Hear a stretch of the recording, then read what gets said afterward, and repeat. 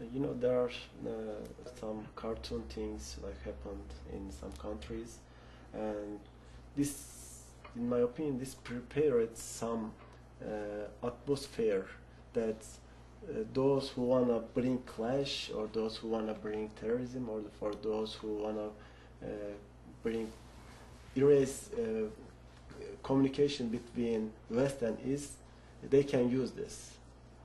Uh, do you think that these kind of uh, with these kind of activities or while they are uh, media or writers or uh, publishers do you think that uh, do they need to be careful uh, while they are writing something something or publishing uh, things about other cultures Well- perspective because we are going to show this in television so that's why I gave that explanation Uh,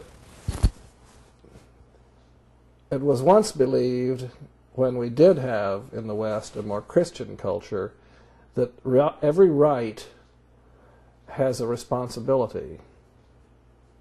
But with the growing secularism, you have seen the decoupling of rights and responsibilities. So in our secularized, radically secularized culture, you see that. So people think I have right to do this, to say this, to say what I want, to do what I want. But they stop, don't stop to think of the responsibility.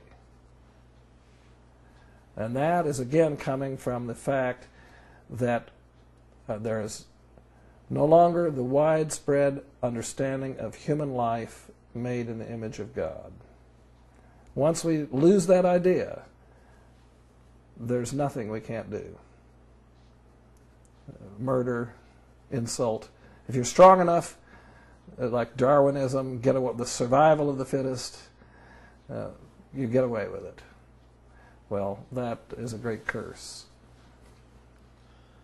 last let me see two questions or maybe three the institute of interfaith dialogue has been founded to promote dialogue and cooperation among cultures and beliefs through direct first and hand experience do you think it is reaching its goal Somewhat.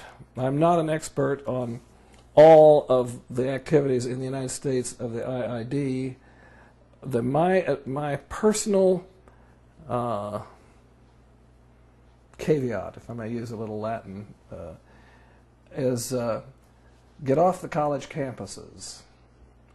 Because when you're on the college campuses only, you're going to find these politicized Christians.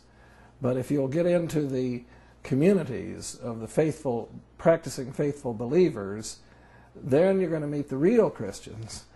And I'm not saying that these uh, more secularized or liberalized ones are not real Christians, that God will look and judge, not me, thank heaven. But uh, I think that that's the danger that IID, because so many of you young fellows are in college, and that's who you meet, is uh, uh, college professors and others such as that. But they are not typical. And um, uh, the group I was with in Turkey were wonderful people. I enjoyed them very much. Uh, but um, there were only, of this t- 18 of us, I would say, there were probably only four or five of us who I would call traditional Christians. That's my impression. Uh, and uh, that it's fine to get to know all these people. You should get to know everybody. So the more we know people, the less we will dislike them. Uh, we'll understand them better. Uh, and that's my only point to IID is be careful of being too tied to the academic world because it is uh, has a tendency toward that politicization.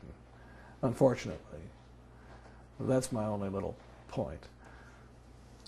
if there isn't that you want to share with us beyond these questions Well, no, I think I've been able to say, uh, and that shows you what a uh, what the strength of the dialogue promoted by IID is. I've been able to say what I would like to say, uh, uh, so I really don't have anything to add, Fatih, uh, except to say my great gratitude to the young fellows in the IID for not only letting me go to Turkey uh, with the with the group, but getting to know these youngsters as individuals and so forth. And I will say, I do think that by uh, deepening of my um, understanding of Islamic people and Islam, it's really helped me to be a better Christian. Uh, and uh, uh, I've learned a lot. And I'm continuing to learn and look forward to learning more. So, you gave a message to the world and to the Turkey and the people in the United States, what would you say? only the truth can make you free. Thank you very much. hmm